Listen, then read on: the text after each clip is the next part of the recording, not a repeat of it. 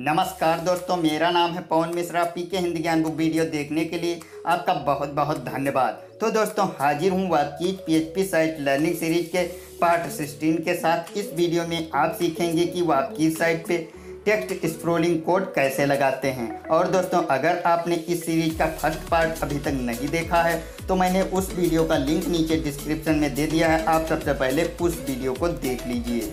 तो चलिए स्टार्ट करते हैं। तो दोस्तों, सबसे पहले आप जो वीडियो देख रहे हैं, उसके नीचे यहाँ पर अंगूठे का एक आइकन आपको दिखाई देगा। इस पर क्लिक करके वीडियो को लाइक कर दीजिए और यहाँ पर जो रेड कलर में सब्सक्राइब का बटन दिखाई देगा, इस पर आपको क्लिक करके पी के हिंदी ज्ञान बुक चैनल को सब्सक्राइब कर लेना है। और यहाँ पर जो ये घंटे का आइकन आपको दिखाई देगा, इस पर भी आपको क्लिक कर देना है। जैसे ही आप इस पर क्लिक करेंगे, नीचे यहाँ ऑप्शंस आएगा यहाँ पर इस पर आपको क्लिक करके और यहाँ पर आल पर यहाँ पर टिक मार्क करके और ओके कर देना है। इससे आपको क्या फ़ायदा होगा कि जब भी मैं इस चैनल पर कोई लेटेस्ट टेक्नोलॉजी वीडियो अपलोड करूँगा तो उसका नोटिफिकेशन आपको मिलता रहेगा। तो दोस्तों, मैंने ऑलरेडी यहाँ पर लॉगिन कर लिया है वापी डॉट कॉम पर। तो चलिए फाइनल मोड पर क्लिक कर लेता हूँ। इसके बाद आपको व्यू मोड पर क्लिक कर लेना है।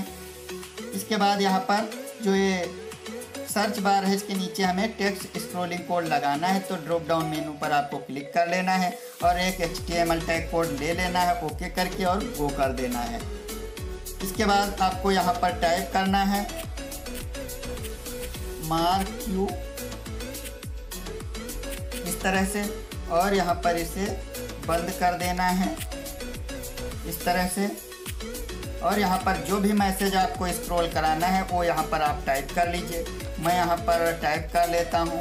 वेलकम टू पी के हिंदी ज्ञान बुक यूट्यूब चैनल और यहाँ पर फिर से मार्क्यू को यहाँ पर क्लोज कर देना है स्लाइस लगा करके। तो मैंने स्लाइस लगाया और फिर मार्क्यू और इसे यहाँ से बंद कर दिया।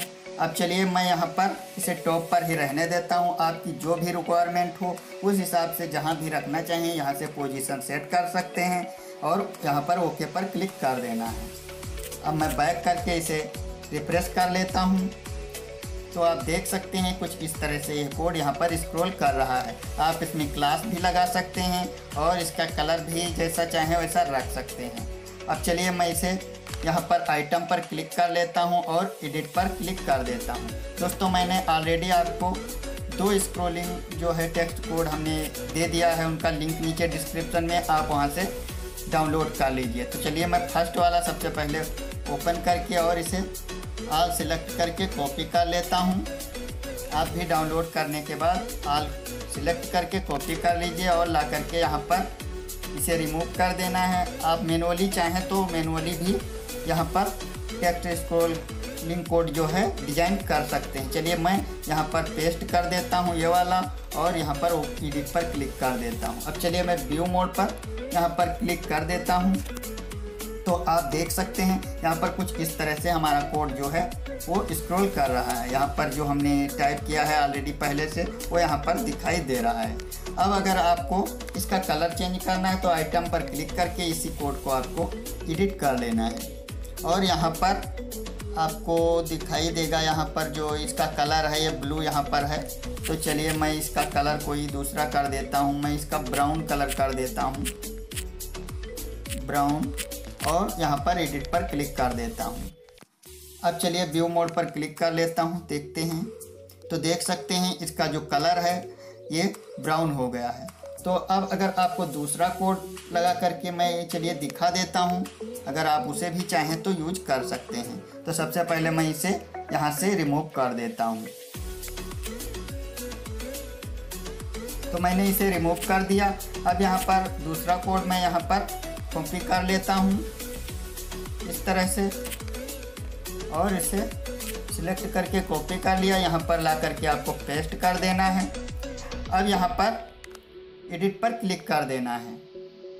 तो चलिए व्यू मोड पर क्लिक करके मैं यहाँ पर देख लेता हूँ कि ये कोड किस तरह से लग रहा है। आप देख सकते हैं, ये कुछ इस तरह से दिखाई दे रहा है। तो अगर आपको इसका बॉर्डर कलर जो है, इसे चेंज करना है और ये जो है, इसका बैकग्राउंड कलर चेंज करना है तो फिर से मैं एडिट पर क्लिक कर लेता हूँ और यहाँ पर जो है ये फ़र्स्ट वाला बैकग्राउंड यहाँ पर जो है इसका कलर रेड है तो मैं यहाँ पर कर देता हूँ लाइन कलर ये जो है बॉर्डर का कलर है। मैंने चेंज कर दिया। अब अगर आ, आपको इसके बैकग्राउंड का कलर चेंज करना है तो आपको यहाँ नीचे स्क्रॉल करके आना होगा। यहाँ पर देख सकते हैं ये बैकग्राउंड यहाँ पर लिखा हुआ है।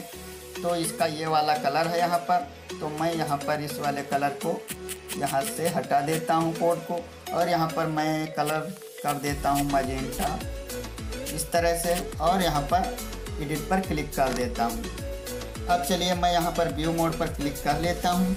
तो आप देख सकते हैं इसका जो बॉर्डर का कलर है वो लाइम हो गया है और इसके बैकग्राउंड का कलर जो है ये मजेंटा कर दिया है हमने ऑलरेडी तो इस तरह से आप इसका कलर जो है मैनेज कर सकते हैं। तो दोस्तों, अभी के लिए इतना ही। नेक्स्ट वीडियो में आप सीखेंगे वो आप किस साइट पे इमेज स्क्रोलिंग कोड कैसे लगाते हैं। अगर आपको वीडियो अच्छा लगे तो लाइक कर दीजिए और अपने दोस्तों के साथ शेयर कर दीजिए। और अगर आपने अभी तक हमारे चैनल को सब्सक्राइब नहीं किया है तो अभी पी के हिंदी ज्ञान बुक चैनल को सब्सक्राइब कर लीजिए और बेल आइकन को भी दबा दीजिए ताकि हमारे आने वाले सभी वीडियो का नोटिफिकेशन आपको मिलता रहे। थैंक्स फॉर वॉचिंग तो दोस्तों, अभी के लिए इतना ही। जल्द ही हाजिर होंगे नेक्स्ट वीडियो के साथ। तब तक के लिए जय हिंद, वंदे मातरम।